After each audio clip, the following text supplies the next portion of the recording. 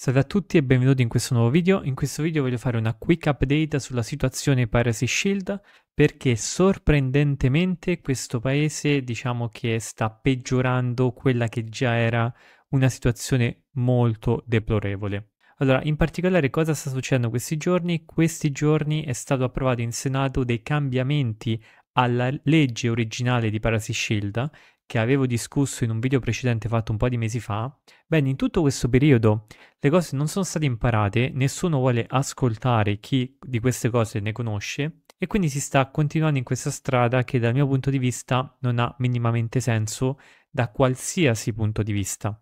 Ha soltanto senso per, da un punto di vista di interessi personali e commerciali di alcune persone con ovviamente tanto potere, ma giusto questo, perché da tutti gli altri punti di vista, sia quello democratico, sia quello tecnico, eccetera, non ha nessun senso. Nello specifico, quali sono questi cambiamenti? Ci sono due emendamenti che vogliono essere fatti a, mm, diciamo, alla legge che diciamo, legittimizza la piattaforma Paresi Shield contro la pirateria delle partite di calcio e dei contenuti in streaming pirata e in particolare questi due emendamenti sono inseriti dentro questo decreto omnibus di questo, del governo che ovviamente io non, so tutto quanto il contenuto di omnibus ma se la qualità è simile a questa di questi due emendamenti diciamo che andiamo molto male.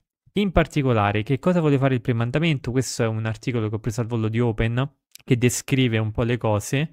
Ora, quali sono questi due mandamenti? Il primo fondamentalmente è questo, ed è fondamentalmente che l'imposizione che prima veniva richiesta agli internet service provider di bloccare l'IP che erano ritenuti origine di pirateria, per esempio delle partite streaming online, senza nessun tipo di prova, eh, perché poi la piattaforma in realtà è stato liccato il codice e non c'erano prove forensi significative per imporre il blocco. No, semplicemente chi è il possessore del diritto fa un ticket e l'ISP lo deve bloccare, altrimenti può subire delle pene che poi vedremo sono anche state peggiorate. Bene, adesso questa richiesta è passata non solo per l'ISP, ma per tutti i fornitori di servizi di VPN e di DNS ovunque residenti, ovunque localizzati. Quindi non importa qualsiasi servizio, praticamente questi stanno dicendo tutti quanti i servizi del mondo devono rispettare la nostra legge italiana io non me ne intendo di leggi, ma mi sembra abbastanza ridicola come richiesta. E ovviamente il tempo, il limite è sempre mezz'ora, perché ovviamente noi interagiamo con servizi internazionali, con servizi che magari non sanno neanche delle partite, diciamo, di streaming di calcio italiano o cose del genere, sempre mezz'ora ovviamente di tempo, perché gliel'ha detto l'Agicom dopo tutto, che è una, appunto questa, per garantire le comunicazioni. Cioè noi per garantire le comunicazioni stiamo creando un abominio fondamentalmente. Non verrà però solo sanzionato chi gestisce il traffico illecito, ma anche chi non denuncia tempestivamente, pur essendo a conoscenza che siano in corso, siano state compiute o tentate condotte penalmente rilevanti. A questi sarà contestata l'omissione di segnalazione e comunicazione, per la quale è prevista una pena fino a un anno di carcere. Quindi fondamentalmente uno a questo punto può dire ok, tu devi andare un anno in carcere perché, perché non hai segnalato un sito che, che andava a distribuire contenuti pirata. Ora qui però c'è un problema dal punto di vista proprio di, diciamo, natura del diritto se vogliamo, ed è come faccio io a dimostrare che tu non sapevi effettivamente che quella cosa sta- stava avvenendo o che la sapevi e che non hai agito? Cioè qui veramente la situazione sta diventando molto critica perché la, re- la si sta rendendo più potente questa legge e questa piattaforma basandosi sul nulla, perché a questo punto diventa veramente una cosa intenzionale.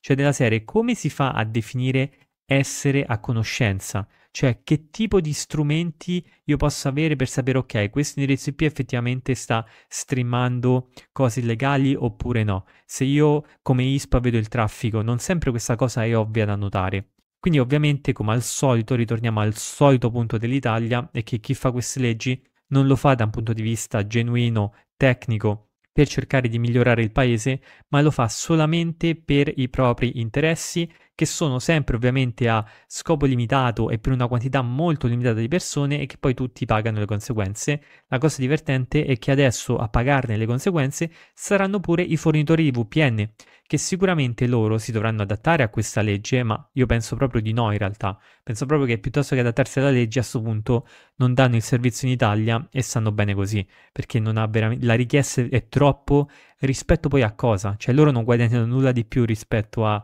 a prima e però devono fare tutte queste cose per proteggere i, diciamo, il diritto di chi ha queste appunto partite di calcio, i diritti di queste cose e via dicendo. D'altra parte però Agicom dovrà rendere nuovamente accessibili gli indirizzi IP bloccati da almeno sei mesi e che non risultano più utilizzati per finalità illecite. Quindi loro giustamente hanno detto, ma ok, se un indirizzo viene utilizzato per un millisecondo, per un secondo, e poi viene riportato e viene bloccato entro 30 minuti, poi deve stare fermo per 6 mesi prima di sbloccarlo, anche se in quei 6 mesi non fa mai attività illecite. Cioè, questa cosa è veramente lenta. Si sta pensando che internet possa funzionare esattamente come funziona l'Italia, ovvero con delle tempistiche glaciali e lentissime, quando in realtà non è vero perché in sei mesi ci sono startup che nascono e muoiono e possono avere il loro successo in quello span di sei mesi, quindi non ha veramente senso questo tipo di pensiero estremamente lento e retrogrado nel contesto di internet in cui un indirizzo IP nello span di poche ore fondamentalmente può cambiare tantissimo per non parlare di sei mesi per un indirizzo IP sei mesi sono ere geologiche fondamentalmente. Dopodiché, la responsabilità dei prestatori. Quindi il primo emendamento fondamentalmente, diciamo, um, aumenta la superficie di attacco di Agicom, perché adesso dicono ok, adesso noi possiamo attaccare chi ha la VPN, chi offre servizi di, di DNS e chi fa l'Internet Service Provider. Perfetto la responsabilità dei prestatori. Il secondo emendamento, il 6036, agisce modificando proprio la legge antipirateria. In particolare si concentra sul prestatore di servizi di accesso alla rete, i soggetti gestori dei modi di ricerca e via dicendo, un lungo elenco di tecnicismi per individuare quelle figure sul web che permettono all'utente di accedere a un servizio fungendo da porta d'ingresso della rete. Quindi ovviamente loro attaccano queste persone, no? Perché queste persone non fanno, non danno un servizio utile alla società, no sono ovviamente le sorgenti di pirateria, no? Perché la pirateria prima non esisteva prima di internet ed è soltanto fondamentalmente responsabilità di questi prestatori di servizio alla rete. È veramente un tipo di mentalità estremamente limitata. Comunque, pure queste figure del mondo del web, quando ne sono a conoscenza, dovranno denunciare immediatamente all'autorità competente tali circostanze fornendo tutte le informazioni disponibili e nel caso di omissione di segnalazione, quindi stiamo attenti qui, nel caso in cui tu non segnali abbastanza velocemente, anche i prestatori di servizio sono punibili con il carcere. E questo punto in particolare spaventa. Spaventa perché considerare che c'è gente che sta in Parlamento, che dovrebbe andare fondamentalmente a caratterizzare il futuro del nostro paese, che, dovrebbe, che ha la responsabilità e il dovere di scegliere quali sono le regolamentazioni del futuro che andranno poi a, ovviamente a strutturare il futuro del paese, scelgono di creare queste cose orribili, scelgono di mettere, di dare un sacco di problemi a chi eroga i servizi del futuro, che sono la connettività di internet, la connettività per esempio al DNS. A me le VPN non fanno impazzire, ma comunque non c'entrano niente in questo caso. La VPN è un servizio e quindi non ha senso concentrarsi in questo modo sulle VPN per una battaglia del genere. Chiaramente questo qui porta, porta interesse soltanto a poche persone che ovviamente hanno tantissimo potere, tantissimi soldi e quindi possono fare una lobby molto forte rispetto a queste leggi. Io scommetto che i parlamentari italiani non hanno nessun tipo di forza e nessun tipo di caratteristiche, o comunque quelli che uh, diciamo hanno approvato queste leggi e che stanno facendo passare queste leggi, non hanno nessun tipo di spirito critico rispetto a cosa questo rappresenti per il mondo tecnico e quindi per il futuro, fondamentalmente. E quindi questo è quanto, cioè nel senso adesso un, uno che diciamo lavora per cercare di dare servizi all'Italia, servizi di connettività, Adesso è pure imputabile per il carcere se non è abbastanza veloce tra i mille problemi che già sicuramente deve affrontare anche questo della pirateria. Perché ovviamente non è la colpa di chi effettua l'atto illegale, ma anche di chi gli dà la connettività, che non ha senso. Non ha senso veramente perché è come dire che, ok, allora a me il comune dà la strada, io faccio un incidente nella strada e quindi è colpa di chi mi ha dato la strada. Se soprattutto per non parlare del fatto che nelle strade, per esempio, di Roma ci sono tante buche, ma non c'entra niente. Cioè, per dire, non è che chi ti dà la connettività automaticamente è responsabile. È un pensiero che in altre, diciamo, situazioni non avrebbe minimamente senso fare. Perché lo si fa in internet? Perché rispetto ad internet la gente è ignorante e non gli frega un cazzo, fondamentalmente. Cioè, questa è, è, la ragione. E verrà anche per coloro che non hanno una sede fisica in Europa. Se il servizio è raggiungibile dal territorio italiano, il prestatore deve designare una persona fisica o giuridica che la rappresenti legalmente. Quindi fondamentalmente veramente veramente assurdo e tra l'altro qui non c'è scritto ma avevo anche letto di un'altra modifica ancora che fondamentalmente va ad eliminare il numero limite di indirizzi IP che potevano essere bloccati. Cioè che prima erano un tot numero, non mi ricordo, un X numero, e poi dopo quello non potevano superare, che tra l'altro infatti Agicom aveva quasi raggiunto il limite. Adesso non ci dovrebbe essere più questo limite, se ho capito bene il, diciamo, i cambiamenti. E quindi fondamentalmente stiamo dando ad Agicom un potere terrificante che secondo me sia i parlamentari stessi probabilmente non hanno veramente capito cosa questo comporta tecnicamente, cioè nella pratica. Molto spesso nelle leggi si fanno tanti scenari ipotetici della serie, eh ma se poi approviamo questa cosa, quali possono essere gli effetti sulle realtà? Dobbiamo stare cauti, dobbiamo stare diciamo attenti e qui e lì.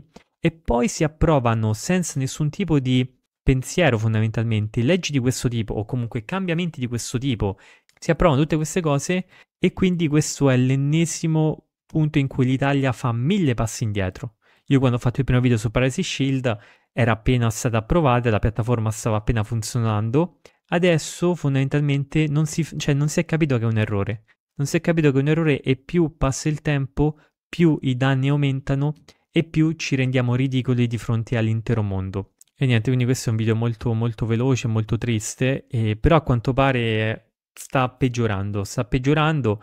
Lo faccio giusto per ricordare appunto a chi mi segue che questa battaglia sta, sta, la stiamo perdendo fondamentalmente perché in Parlamento non c'è un minimo di rappresentanza e, e non lo so, cioè non c'è un modo di, di, parlare di queste cose perché comunque l'ho sentita veramente poco discussa e, ed è terribile, è veramente terribile dare più potere ad un'autorità che non lo sa minimamente utilizzare e che non ha il criterio proprio da tutti i punti di vista per utilizzarlo, gli diamo più potere. E questo è una cosa che la democrazia dovrebbe stare molto attenta no? alla centralizzazione del potere. Adesso Agicom può chiedere a Internet Service Provider, servizi di VPN e servizi di DNS di bloccare un IP il prestatore del servizio ovviamente avrà paura di essere denunciato e di finire potenzialmente in un anno di carcere, anche se questa cosa non verrà mai effettuata effettivamente, no? Il problema è proprio la possibilità. Questo creerà paura e quindi questo che cosa renderà a livello pratico? Renderà tutti questi prestatori di servizi o saranno estremamente servili ad Agicom, perché sono costretti ovviamente, perché chi è che vuole andare in carcere per, diciamo, fondamentalmente una cosa che probabilmente neanche ha fatto consapevolmente, ovvero non avvisare in tempo, oppure smetteranno di erogare il servizio in Italia. Quindi per quelli che sono all'estero sarà molto più semplice smettere di erogare il servizio perché è letteralmente impossibile diciamo, rispettare questi requisiti. Questa è una tipica legge che nessuno può rispettare al 100%, specialmente perché si basa sulla conoscenza che un internet service provider ha che è un qualcosa di estremamente complesso e non importa il fatto che i dati passano per l'ISP, perché se ti passano un sacco di dati di un sacco di utenti, tu non hai un controllo a grana fine su cosa sta passando. E per quanto riguarda ISP grossi o comunque ISP di una certa dimensione, anche medio direi, questo diventa estremamente difficile, cioè analizzare i dati. Quindi si sta richiedendo un sacco di cose all'Internet Service Provider, ai DNS, ai VPN provider e Agicom invece si comporta come gli pare, cioè non, non ha nessun tipo di, diciamo, trasparenza di operato e via dicendo. E avevo pure letto che se tu ti vuoi far sbloccare l'IP, sei tu che devi dimostrare di essere innocente. Non è che devono dimostrare che tu sei colpevole, no, sei tu che devi dimostrare di essere innocente. Cioè tutta questa questione intorno ad Agicom è veramente glaciale rispetto al fatto che proprio non racchiude nessun tipo di principio che la democrazia dovrebbe avere. Ed è una cosa triste, quindi chiudo il video, al prossimo speriamo che... Ma non ho più speranza oramai, eh, perché questo paese è come se non volesse veramente capire, la gente è interessata ad altro, la gente non pensa a questi problemi e continuiamo così e vediamo il risultato. Personalmente più vado avanti e più penso, diciamo, ad andare via da questo paese, in tutta onestà, anche per queste ragioni, perché non mi sembra giusto vivere e subire le conseguenze di scelte di persone che sono ignoranti, pensano solo ai loro interessi e fondamentalmente se ne infischiano della realtà.